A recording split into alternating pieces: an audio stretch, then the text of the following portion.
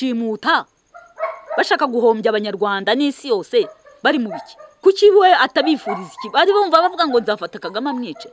Bari bumva avuga ngo nzafata musirikare mwice. Bari bumva bavuga ngo nzafata umuntu wa- wa- wa- wagiye yitwa umwanzi w'igihugu mwice. Kuki badakurikiza urukundo? Arimo abakunda. Kuki batareba viziyo aba- abapangira? Ahubwo bo bakakumva bakoresha ngo ku- kumusuzugura gusa kureba ngo ni muto muto n'ibiki kumugani kuki badashobora gutinya kuba bamushyize muri serikare ntapfe? We bagushyira muri serikare ukabaho. Atari imana ikurinze. Bagapfundikira yantegereje ukuntu bamufunze muri serikare ibyumweru bibiri bajya muri sekafa. Bavuyeyo basanga barafinda ari muzima. Kuko imana yarambwiye ati ndabemeza. Bano bantu nzabemeza. Yagiye gufungwa ngewe mbizi. Imana imbwira ati igiye kumufunga. Ariko hari ibintu igiye kumwereka. Ubugome bw'abanyarwanda bwandambiye jyanye umugabo wo kumufunga. Babe banabyumva neza. Byabaye mbizi ngewe menya ko umugabo wanjye agiye gufungwa kubera imana. Agezeyo ibyo yamwerekeyeho ni amarorerwa y'ibintu bakora. Niyo yanamutegetse ngo uzafungwe ntazagire gereza iba ku ngoma yawe. Ibyo abantu bakorerwa ntubibonye niyo mpamvu yababuzaga amahoro bamufungira ahatandukanye hose. Bakamukura kwa gacinya bakamujyana bo batazi ibyo ari byo batazi ibyo barimo. Ari imana ibikora kugira ngo bamwe ati wabibonye? Wabibonye ukuntu bica rubozo wabibonye aha wabibonye aha n'aha ubusa beza ni bande? Nga ukuruye ku ngoma zose umwiza nini niyo mpamvu wowe dushaka nshaka kuko ndi witeka ko ingoma yawe itazayobora iri mu moko. Ingoma yawe ntizayobore igira uwirobanura ingoma yawe. Izarengere buri kiremwa muntu kandi nawe nu- nuramuka ubaye nkabo nawe nzabiguhanira. Ariko njye ntangazwa n'abantu bashaka gukirana n'akaboko kubiteka ngo barashimuta barafinda. Bashaka guhombya abanyarwanda. Niyo mpamvu yabwiye abantu ngo ni mu mpombo. Ni mu mbombo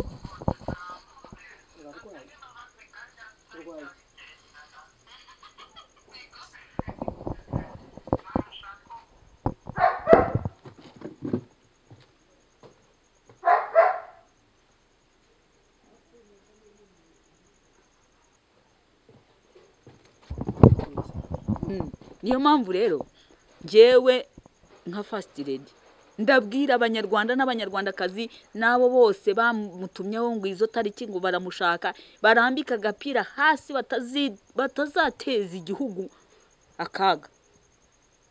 Barambika si bo bamwangaje si bo bamujyanye muri gereza n'ubwo bamushimutaga si bo babikoraga n'imana kugira ngo ibanze igende imwereke iby'abanyarwanda ko nta beza nta bose ari bamwe.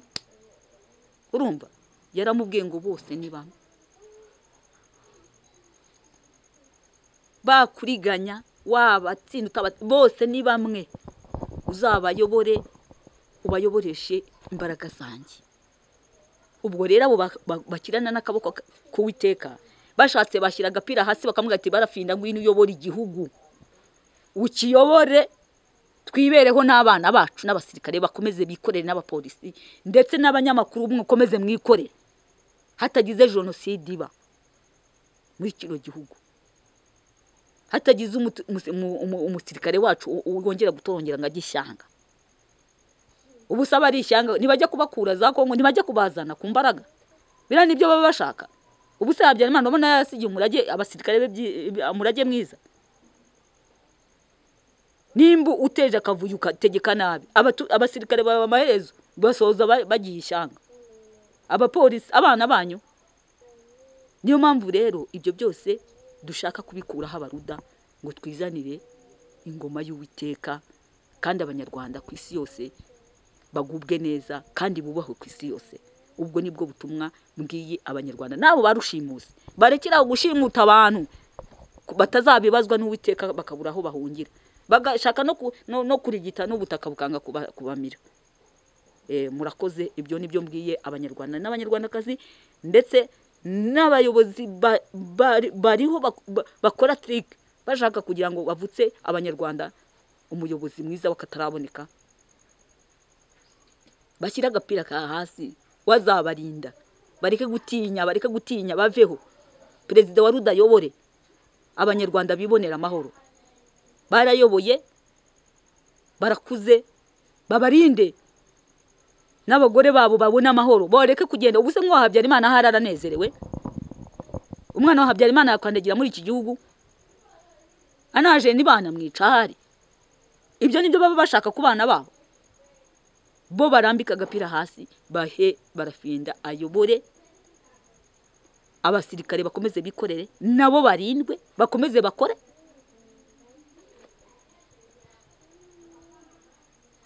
Hanyuma igihugu gikomeze gitere imbere. Kandi n'abaruda natwe umunsi barafinda yayoboye azayobora imya- imyaka itanu. We niyo viziyo ye. Itanu. Nta na viziyo y'u rwanda afite. We ashaka gukuraho imipaka muri afurika nk'uko ahora abibabwiye. Abantu bavuga ngo wenda arashaka kujyaho ngo agundire nkabo nta wapi. Babyumve rwose ba- bashire amerwe. We ntashaka jenoside. Imana yamubwiye ko nta jenoside ishaka kongera kubona ku munyarwanda. Niyo mpamvu ashobora kwiyobora imyaka ni- n'itanu ishobora kutagira akabyigana no gukuraho imipaka muri afurika nibamara kubona bigenze gutyo bakunze kuvaho. Akajyaho bazabona gatoya imana umupapa imushyira muri afurika urebe ukuntu afurika natwe dutera imbere tukamera tuka- tuka- tukogoga tukambe- tukaruta n'ibyo bihugu by'amahanga. Abantu bose bagahita bagira bate? Bagahita ba- bubaha afurika natwe afurika noneho ikagira agaciro. Za ntambara zabaga muri afurika zikarangira. Ahubwo afurika ikifuzwa.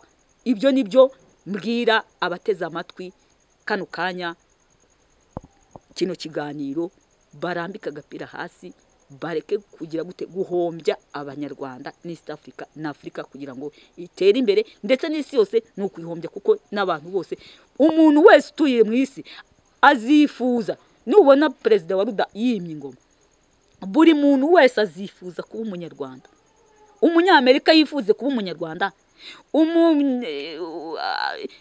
usanga um, kongo umunyakongo yifuze kuba umunyarwanda usanga umuganda ashaka kuba umunyarwanda usange umutiyopiya ashatse kuba umunyarwanda usange eh, mbese ibihugu byose byose byose umuntu baza- benshi bazasaba ubunya- ubunyagihugu mu rwanda. Umunyarwanda agira agaciro ku isi yose urumva.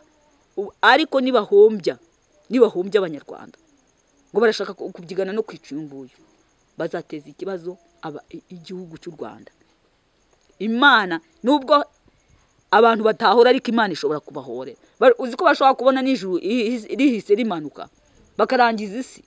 Uzi ko abanyarwanda bashaka kugira ibyihebe barangiza isi. Barakaza imana. Nibyo bashaka? Eh, murakoze rero ubwo ni bwo butumwa mbahaye. Murakoze namwe abanyamakuru badusuye rwose mujya kandi abanyamakuru turabakunda eh, mujye mutubwira n'abandi banyamakuru muradusura mukadukorera eh, ibiganiro byiza tukabakunda turabakurikirana kandi namwe eh, ubwo ubwo twifuza ko abaruda bazima ingoma bakabona amahoro eh, namwe ntabwo tuzabasiga niko twababwiye kandi nta muntu wivuguruza eh, ku ijambo.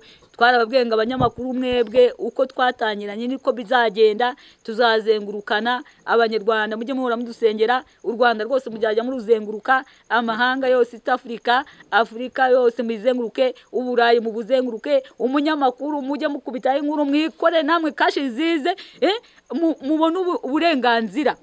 Twebwe niyo mpamvu ubona nta munyamakuru dusubiza inyuma. Turavugana urumva tukababwira. Uko rero nimba mubona ariko bimeze ntabwo ariko ntabwo twebwe tuzivuguruza. Ngo turengwe ngo tuvuge ngo aba ntabwo tugikorana. Aha ntimuzavuge ati buriya du- duherukaniye hariya oya. Ni muri perezidanse tuzajyana no mu mahanga tuzengurukane. Nk'uko tuba tubibabwira buri gihe murakoze. Barafite tugana ku musozi w'ikiganiro tugiranye eh, n'amasaha dore yakuze ni ubutumwa ki wagenera abantu muri rusange? Nta birumvikana.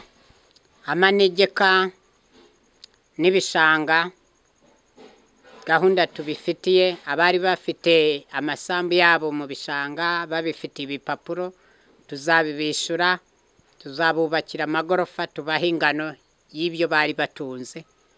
Birumvikana.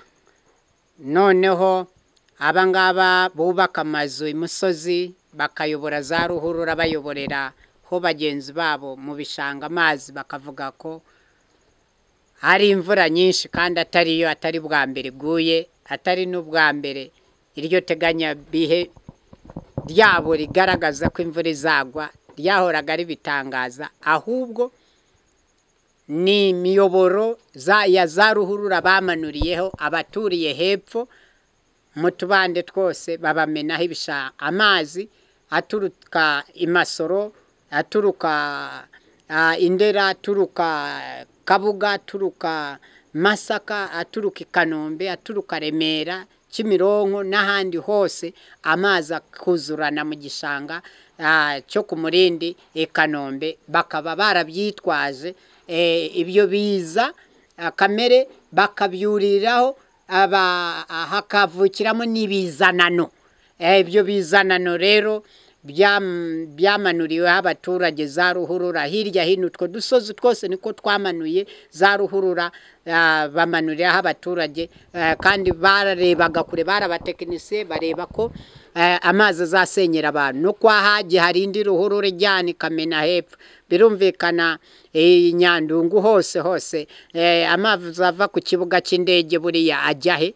Ntamanukira hariya yose ntagera ah, ku mushumba mwiza. Ibyo byose no hirya hino hose ava mu kigo yose amanukira hano mu muhanda akagera n'iwanjye akaza kunyangiririza amazi akuzura mu nzu akagera ku madirisha. Birumvikana ibyo byose twe ah, nk'abaruda tuze ah, nzajya manika ikiganza cy'amahoro mu rwanda no muri east africa. No muri afurika no ku isi yose. Ibyago byose bizajya bihagarara.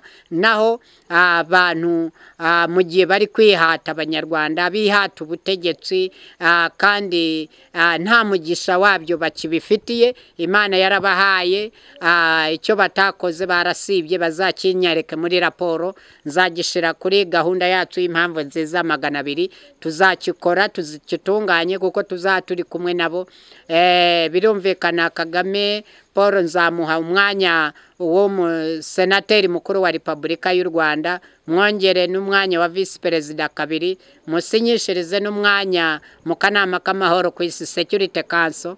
Hanyuma ajya asigasira amahoro abagira inama nk'uko yakomezaga azigira abantu nta n'ubundi nzamusigasirira umutekano we n'umuryango we n'inshuti ze urumva ntacyo azaba humure eh, n'inshuti ze n'imiryango ye abo hafi n'abakure nzamurindira umutekano.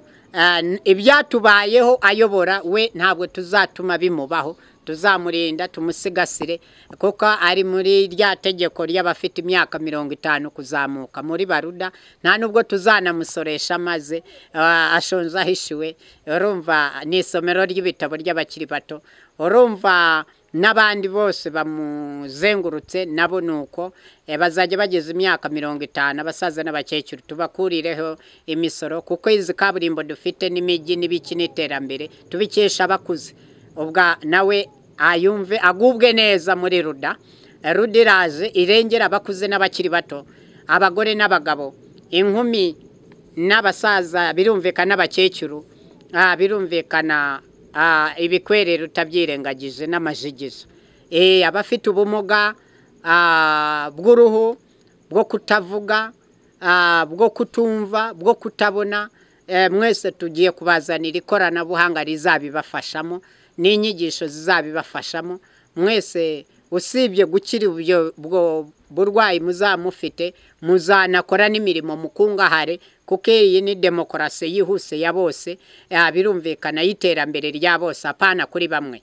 Birumvikana nuza iyi ngoma y'abaruda n'abarudakazi n'uturuda duto tutarafata. Irangamuntu ni ingoma y'ubumwe bwa bose abanyarwanda abanya east african community bose n'abanyafurika leta zunze ubumwe za afurika kabiri usa tu n'isi yose. U rwanda turugira umurwa mukuru wa afurika afurika tuyigira umurwa mukuru w'isi. Hanyuma bizaba uburyohe bw'ibihekane. Hehe n'ibiza kamere hehe n'ibiza abantu hehe n'ibizanano nta ntambara zizongera kubaho nta jenoside zizongera kubaho nta civil wars intambara z'imbere mu bihugu ntizongera kubaho n'inyeshyamba zose zizataha n'impunzi zose zizataha ziture zituze zitekane. Amahoro masamasa isi ntizongera kugira iterabwoba riri hirya no hino. Biriya ni ibimenyetso bibereka eh, ko isi bayi bayiteza umubabaro bayiteza umuvumo twe turaje imivumo yose tuzayikuraho. Uwiteka kandi azabidufasha. Tugane ku musozo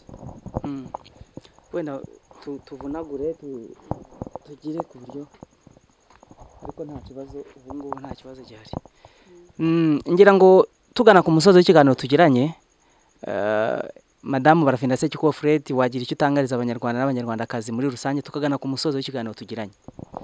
Eh, bara- umudamu wa barafinda sekiko fred eh, ibyo nabwira abanyarwanda n'abanyarwandakazi eh, ni uko rwose eh, tubijeje ko eh, perezida wa ruda naba perezida eh, ko azaharanira kugira ngo abanyarwanda cyane cyane urubyiruko eh, rwabuze akazi rurashomereye yaba ari abasore barangije amashuri abakobwa eh, barangije ah, amashuri kuva kuri segonderi kugeza kuri na za masitazi babuze akazi. Eh, usanga eh, biratangaje ko hari igihe usanga umuntu yararangije nka iniverisite ukajya kubona ukabona ariho arakora akazi k'ubuyedi yatonze akazi mu mirongo y'abayedi cyangwa se ugasanga yarangije segonderi ukabona arimo aragenda gusaba akazi ko gucukura imyobo. Eh, ugasanga umuntu ah, na ya mashuri yize nta n'agaciro ayaha kuko eh, nta muntu eh, umuzi wamuha akazi kuko baragenda bakajya bakavuga bagatangaza ngo eh, nimugende ngo kwiyandikisha muhabwe akazi wa- wajya gukora batanga interview wakora niyo waba watsinze ugasanga hahamagawe undi muntu eh, nawe bikagutangaza kandi wagize amanota meza. Ubwo rero ugasanga abantu ni abashomeri ugasanga babuze icyo gukora mbese ugasanga ni cyo niyo mpamvu n'urubyiruko rwiroha mu biyobyabwenge mu busambanyi ugasanga abantu barabyaye ugasanga mbese kubera- kubura icyo gukora niyo mpamvu rero twebwe abaruda n'abarudakazi tubwiye urubyiruko ko eh, tuzabashakira imirimo bagakora ntihazagire umuntu eh, ushomera mu gihugu cy'u rwanda eh, ku ngoma y'abaruda. Kandi n'abagore eh, bahanye divorce n'abagabo babo tukongera tukabahuza bagasubirana. Ndetse n'abatarashaka bagumiwe ba- baheze mu ngo. Hari igihe umuntu usanga afite nk'imyaka mirongo ine n'itanu ugasanga nawe nta mugabo afite. Ugasanga umugabo afite mirongo ine n'ingahe nta rugo aragira. Ugasanga rero ibyo bintu birababaje kuko eh, ubukene eh, nabwo butuma ari ingaruka zi- ndetse zo kubaho nabi kw'abo bantu ariko twebwe abaruda n'abarudakazi twebwe tuzashyiraho eh, korohereza abantu bihangira imirimo duhamagarire abashoramari baze bakore mu gihugu cy'u rwanda ntibananizwe nabo ntibakwe imisoro myinshi kugira ngo bakunde eh, bubake inganda mu gihugu cya- cya- cya- cy'abanyarwanda eh, bagerageze kugira ngo abanyarwanda bahe abantu akazi ubushomeri bushire niyo mpamvu rero twebwe nk'abaruda eh, tukangurira abanyarwanda eh, bari hanze eh, ko abaruda n'abarudakazi umunsi eh, perezida wa ruda yimye ingoma abantu bose bahunze iki gihugu eh, bagiye bafite ikibazo eh, bavuga ati igihugu cyacu ntabwo twagikandagiramo batwita abanzi. Abo bose twebwe ibyo by'abanzi ntabwo bi- tuzabijyamo bazaza bakore kandi n'aba ngaba bayoboye kino gihugu ntacyo tuzabatwara nta musirikare wese azakomeza yikorere umupolisi akomeza akore ndetse na perezida wa repubulika twebwe azakomeza yibereho tumurinde niko twavuze guhera tugitangira. Kuko twebwe nta muntu n'umwe wo mu gihugu cy'u rwanda dushakira ikibi kuko eh, yababwiye ko ubuyobozi bwacu eh, eh, mbese buva ku mana buturuka ku mana kandi iyo uri umuntu w'umwana w'imana ugambiriye gukora iby'imana ishaka wirinda kwica kuko iyo wishe ntabwo uba uri umwana w'imana buryo n'ubuyobozi bwose uzabona burimo kwica ushimuta abo bantu baba bigenga ntabwo baba batinya uwiteka. Baba bamaze kwigera n'ibyihebe nyine wumva byiheba? Kuko ntabwo ushobora kuvuga ngo ugiye gupangira umuntu ngo gushimuta ngo ufite akazi runaka ahantu ngo uri uri manege ahantu. Wowe upuraningira umuntu kumushimuta ujye kumuvutsa ubu- ubu- ubu- ubuzima bwe utigeze umuha ntabwo kwemeza ko uwo muntu ubwo buyobozi aba ari- harimo imana. Ahubwo buba bwigenga. Ariko twebwe abaruda turavuga ngo nta muntu n'umwe tuzavangura yaba ari ab'imbere mu gihugu cy'u rwanda yaba ari abo hanze yitwa kiremwamuntu kandi akitwa umunyarwanda.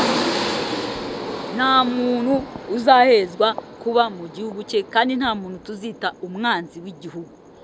Twe tuzabakosora kuva kera kuva ku itangiriro kuva ku bami byabaye kugeza kuri iyi leta iriho.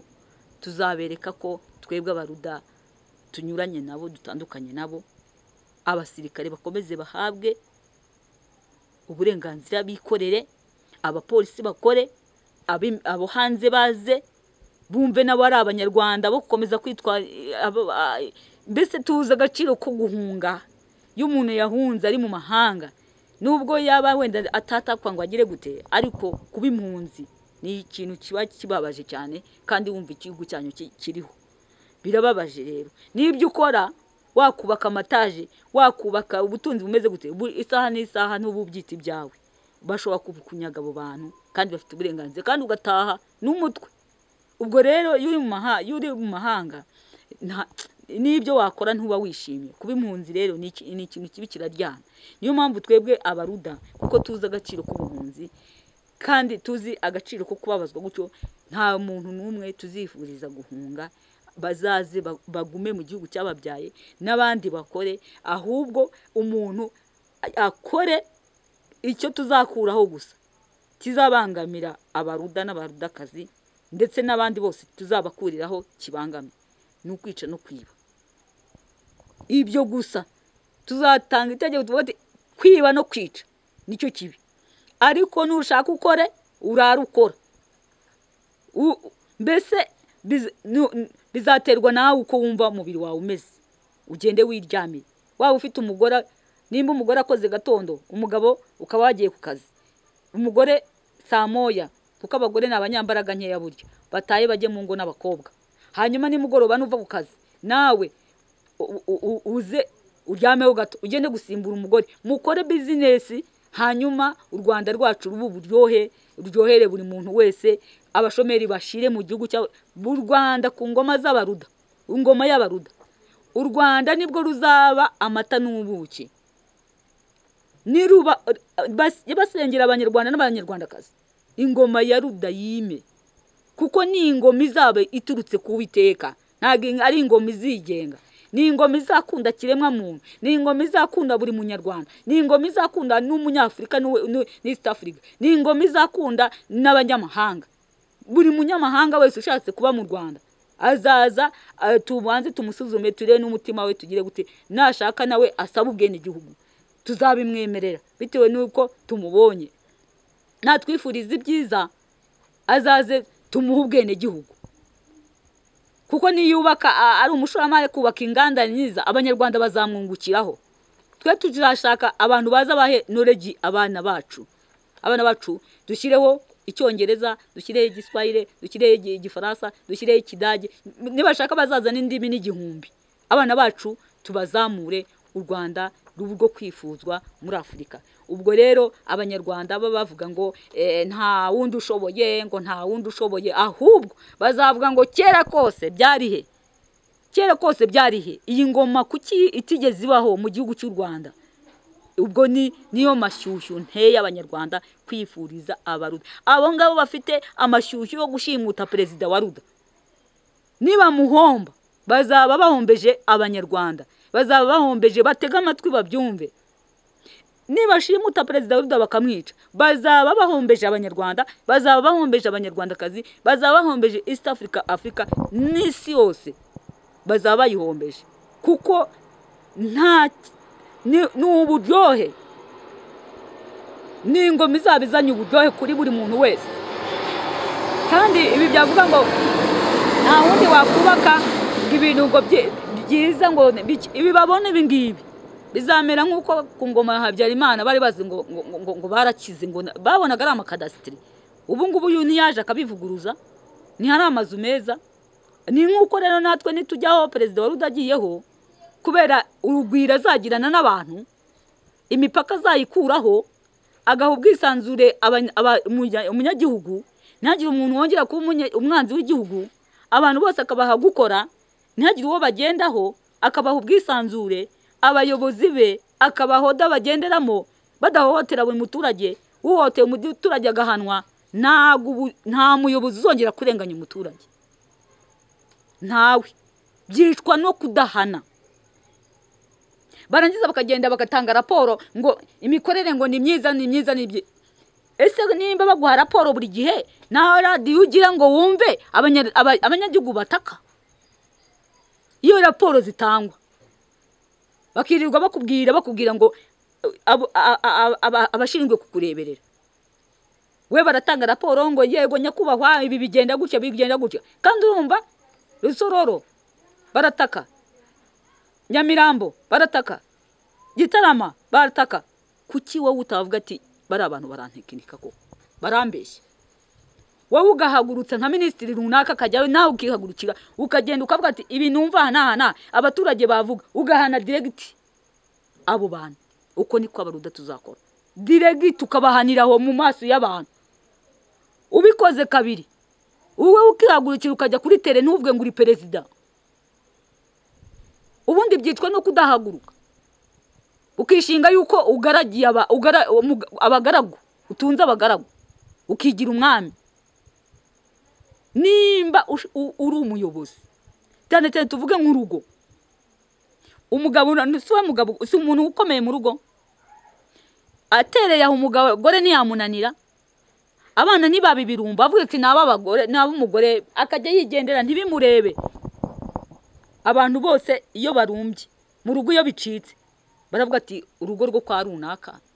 Icyo gihe hagawe umugabo. Iyo bashonje iyo bambaye ubusa iyo bagize gute iyo mbese ibirumbo abana babaye ibirumbo bagaye umugabo. Niyo mpamvu rero n'igihugu kiba kimeze nk'urugo. Urumva ugomba kumenya abanyagihugu bawe bashimutwa bashimutwa nande? Ese nta teregesi ugira zifata abo bantu bashimuta ese abo bantu ntabwo bari gutaka ukumva karongi bashimusa abantu batatu ukumva i kigali bashimuse abandi ukumva kuki abo bantu badafatwa ariko kuki wowe udashobora kwikorera isake ngo wohereze izo intelligence zikurikirana abo ayo mamodoka yirirwa ashimuta abantu? Nimba wowe utabifitemo uruhare wewe wewe ubikuriye. Ubwo rero iyo utabahannye nk'abantu bareba kure babona ko nawe ushobora kuba ubifitemo uruhare kuko nta muntu wahanye. Ngo wereke igihugu ati aba ndabahaniye kubera gushimuta aba ndabahaniye kubera gushimuta. Reba nk'ubu nk'urugero. Ukuntu ibiryo byahenze. Nta muntu wese nta muntu ushobora kuvugira abaturage ngo bati ibiryo byarahenze. Nimba abaturage abaturage b'u rwanda bamenyereye guceceka kandi guceceka baragwiriwe n'amahano. Urumva? Umuntu ibiryo agahunga kagere ku gihumbi. Ibishyimbo bi- bigende bizamuke bigere ku giciro imiceri igihumbi cyabiri ibiki ibintu bitigeze bibaho mu buzima. Ugasanga nta n'umuntu utereye agatoki ngo avugire abanyarwanda. Ibyo rero baruda. Ibyo abaruda turi kubireba tukababara. Abanyarwanda kandi baracecetse. Nimba abantu bazi yuko ngo bayoboye neza ngo bafatishije abanyarwanda ngo abanyarwanda bafite ubwoba cyangwa se ngo niko bayobora. Bashyira agapira hasi ahubwo njyewe izo nama aho baziremera zo kuvuga ngo bumva abantu bacecetse. Bibuke ingoma ya habyarimana abantu baracecetse imyaka mirongo itatu. Baba bagira ngo jenoside zitangire. Ese bajye bakosora ibintu bitaraba twebwe baruda rero tukavuga ngo ibyo byose twebwe niyo mpamvu ba- tuba tuvuga ati tuje gukosora ibyo byose ibyo byose tubona bigenda bi- byivangavanga n'abakabishinzwe ntibareberere abantu bagashimutwa. Ariko birababaje ku ngoma y'abaruda nta muntu uzashimutwa. Nta n'umuntu uzongera gufatwa ngo ashimutwe. Cyoshywa n'amagereza babica yo kubabica na umva ntuzabigerageza. Bazamwicire mu- gihugu ba- ba- babireba ku mugaragaro. Bavuga ati dore dutange urugero. Bamurasira kuko icyo kintu ni icyishimusi ni icyihebe koko. Wowe umuntu uragiye umushimutiye abantu hari ahantu mu mujyi bashimusa abahungu bavukana batatu. Warabyumvise mu makuru. Bashimuta abana mbanza ari ab'i karongi abo baburiwe irengero. Bashiki be barasakuza aho bari bapangishije barasakuza. Ariko habe n'umutegetsi numvise nibura anagira n'impuhwe ngo ah- ah- ah, bashake abo bantu babikoze. Bahanwe ababyeyi buba abo bantu urumva batababaye. Ndetse hari n'uwundi nanone ukora muri migirasiyo ikibungo. Bari bamuvanye hariya i gatuna. Kandi nawe ari umu fpr nawe yarashimuswe. Abantu basaze ba- mwene wabo bamushakira muri kigali bavuga ati "Tu- amaze amezi atatu aburiwe irengero ariko ntitubizi abantu bamujyanye. Turajya kumubaza turajya kumubaza bavuga ngo ngo nimugende ngo turacyamushakisha niba navuge nibura ati turamufite ngo abantu baruhuke mu mutima. Reka mbabwire mu banyamakuru. Ngiye byambayeho uzi kugira ngo uburire umuntu wawe burirwe irengero ntumenye aho yagiye. Nta n'ubwo urya nta n'ubwo uryama. Uravuga ati nibura cyama ntumbwire ngo yarapfuye byibura. Mvuga nti kama mbaya mbaya yarapfuye. Ariko ugahora wajya ha bakakubwira ngo ngewe kugira ngo banyemerere ko ntabwo bambwiraga ko bamufite. Kandi umuntu ushakisha ni ukuri njyayo buri gihe njyayo nkajya hehe nkajya hehe nkajya hehe. Ariko kuko imana yarebye ko mbabaye ngewe mpuza n'umuntu ambwira ahari. Umukozi w'imana. Imana iramutuma kubera yabonaga agahinda iko ukuntu banshiragiza irambwira arambwira tumva ukuntu uwiteka akubwiye. Kubera ko ibona umubabaro wawe ufite. N'abakagutabaye bagutererana. By'ahantu bitwa cid ati urahazi kandi cid nagendaga buri gihe buri gihe. Bakambwira ngo ntabwo bazi ibye. Ngo keretse tugiye kumushakisha ngo se wamubuze gute ngo rwose ngo ngo wagiye se kuri sitasiyo ngo ya polisi ngo- kandi ari bo bamufite. Ariko imana impuza n'umuntu arabimbwira.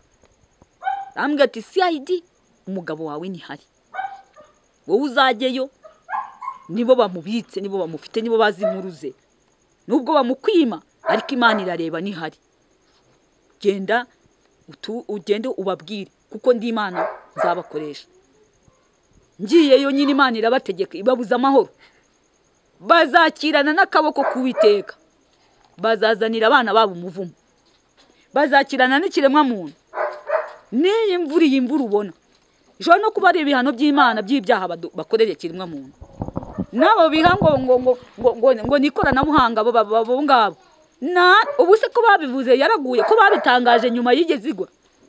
Kugira ngo imana ibemeze. Noneho kuva babitangaza baravuze ngo nyuma ya noheli urumva abantu bapfuye. Babera bivuze mu makuru baravuga ngo hagiye kugwa imvura nyinshi ngo ihutangwe ibiki n'ibiki ngo nyuma y'iminsi itatu yaraguye. Kugira ngo imana ibereke ko ibyo byose iri inyuma yabyo. Ari akaboko k'uwiteka kari kwereka abanyarwanda ibyaha bakora. Njyewe umugabo wanjye yavuye muri gereza bimbwira ukuntu imvura izatera abanyarwanda n'isenywa rizaba. Ararimbwira ararimbwira ara- ibintu byose yambwiye yavuye muri gereza. Byose byarabaye. N'ukuntu bazamuriganya n'ukuntu bazamuhuguza n'ukuntu imvura izaza n'ukuntu imvura imana izagira umujinya abantu ibateza imyuzure b'abanyarwanda kubera ibyaha bakora. Arambwira ati ibintu bakorera muri gereza abantu imana izabarundaho imvura imyuzure ikumbanya abantu. Atamorogo nubona bariya biha ngo ngo ngo ngo ngo bara- ngo barasenya amanegeka. Nibigera se mu nzu zabo bazabibivuga ni cyo ni- ni cyo kintu bazabona ko bari gukirana n'akaboko k'uwiteka ibyo bintu bizababaho ndetse nibakomeza gu- gukora ibyaha imitingito ibabeho nibakomeza gukora ibyaha ndetse n'abana babo n'abakomokaho. Bazahura n'ingorane. Ariko twebwe abaruda tuje kugira ngo tube abaribareta b'abanyarwanda. Ni mu perezida wa ruda ntanajyaho nta n'imyuzure izongera kuba mu rwanda. Mberurire nta myuzure izongera kubaho nta mvura nta bantu bazongera kugira ngo barapfusha nta bintu byose igihugu kizatekana. Imana ikora umuti u rwanda rutera imbere afurika yubahe u rwanda amahanga yubaha u rwanda nimba bazi ubwenge abanyarwanda. Barebe barafinda ko ari umugabo imana yaboherereje. N'abafite amashyushyu yo kumwica barambika agapira hasi kuko bazateza ibyago abanyarwanda. N'umuntu uzamwica abanyarwanda ahubwo bazamufate bamurase ku mugaragaro. Azaba ahombeje abanyarwanda. Azaba ahombeje abanyarwanda kuko umunyarwanda ni we ugiye kugira agaciro ku isi. Kandi biturutse kuri barafinda.